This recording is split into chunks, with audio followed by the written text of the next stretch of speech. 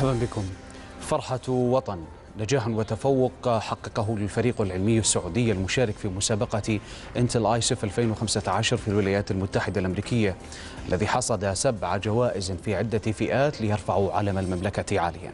هؤلاء الأبطال حظوا باستقبال مميز في مطار الملك خالد الدولي بالرياض لدى وصولهم لأرض الوطن. كيف كان المشهد؟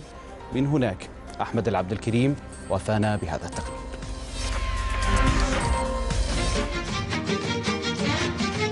بمشاعر الفرح والاعتزاز تزاحم المئات من المواطنين في استقبال المنتخب الوطني للعلوم والقادمين من الولايات المتحدة الأمريكية محققين إنجازا علميا بحصولهم على سبعة جوائز علمية وبحثية ضمن مسابقة المؤتمر الدولي للعلوم والهندسة. آه، هي ترشيح جميع الطلاب المستعدين للمشاركة في البحث العلمي يسجلوا أساميهم أونلاين هي متاحة لجميع المدارس.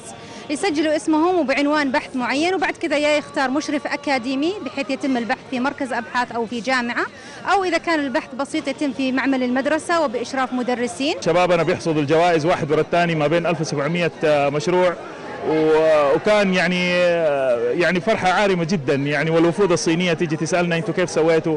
الوفد الهندي يعني مسؤولته جات تقول نحن عندنا 30 35 طالب ما فزنا بشيء، أنتم كيف بتسووا في السعودية هذا الشيء؟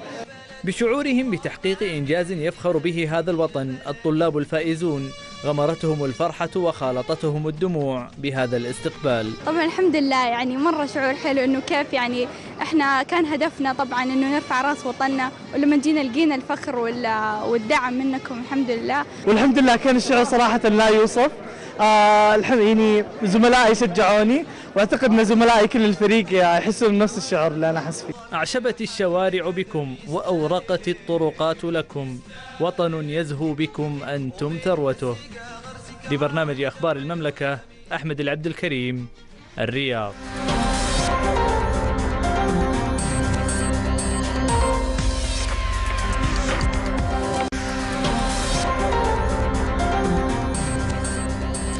الأكيد أن نزهو ونباهي بإنجاز هذا الفريق معي عبر الهاتف عراب وهذا الإنجاز كما وصفته التواصل الاجتماعي الدكتور حمدان المحمد المشرف على الفريق العلمي أهلا بك دكتور ومبارك هذا الإنجاز أسعد الله مساكم ومساءك. حياكم الله أهلا والله بك. يبارك بعمركم جميعا إن شاء الله دكتور بعجالة يعني اسمح لي الوقت يعني لو علينا حطينا أكثر من حلقة لكم لكن الوقت يزاحمنا. نود فقط أن نعرف إلى أين س- سيتجه هذا الفريق مستقبلا؟ هل من خطط لديكم لتطوير آه، هذا الفريق أو حتى على أقل تقدير فرق ب- ب- بهذا الحجم؟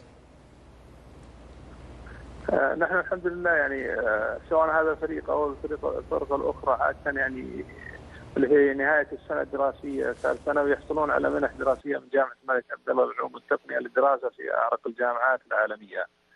آه، أما الطلاب اللي في المراحل المتوسطة أو في أولى ثانوي أو ثانية ثانوي فهم يكملون في المشاريع في مشاريعهم البحثية أو يبدون في مشاريع جديدة وبعض الطلاب الابحاث المتميزه فعلا وحصلت على الجوائز أو لم تحصل شارط أن تحصل عن طريق المشرفين عليهم في الجامعات والمدارس والمعاهد الأبحاث أو مراكز الأبحاث يتم نشر أبحاثهم هذه في مجلات عالمية وفي ورقات علمية محكمة من جهات مختلفة سواء جهات إقليمية أو دولية.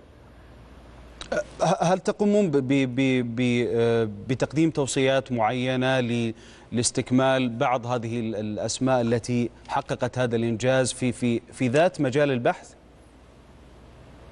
آه، نحن نتواصل مع ال- المشرفين أو الزملاء صاحب الاختصاص اللي كان يشرف على الطالب ونطلب منه يعني نشر هذه الورقة العلمية أو إكمال البحث وكثير من الطلاب آه، الذين عندهم مشاريع متميزة يواصلون مع نعم.